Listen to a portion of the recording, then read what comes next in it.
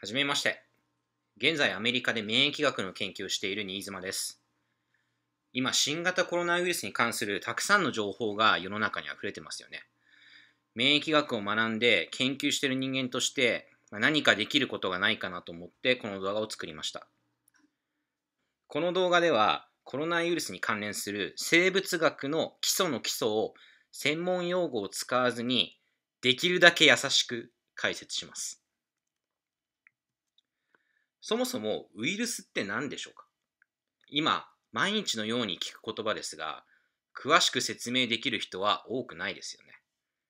今回はウイルスの特徴について勉強しましょう。そこで、ウイルスを理解するためには、まずはこれ、細胞を理解する必要があります。ちょっとオレンジ色なので、イクラみたいに見えるんですけど、まあ、細胞っていうのは、小さな小さな生きている丸い粒だと思ってみてください。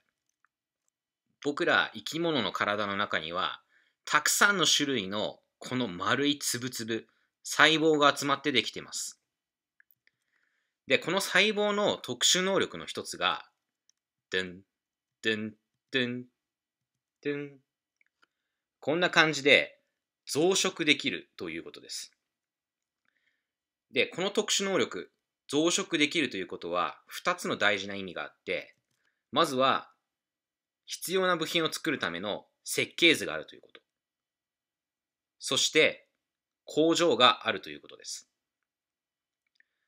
僕も忙しい研究生活の中ではまあこんなね細胞みたいな感じでもうせめて2倍でいいから分裂できればなと思うんですけどまあがっつり妄想ですね。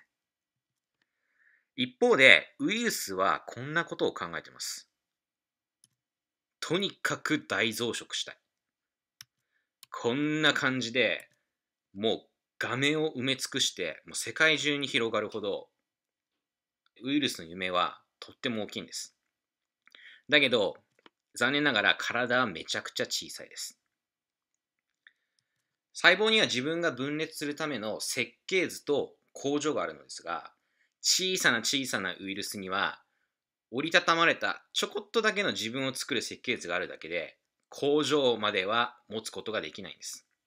つまりウイルスは自分の力で増えることができません。そこでウイルスが夢を叶えるために取る作戦が細胞の中に潜り込んで細胞の工場を利用して大増殖することなんです。今回のまとめとしては、ウイルスは自分で増えることができない。だから細胞に潜入して増殖するということです。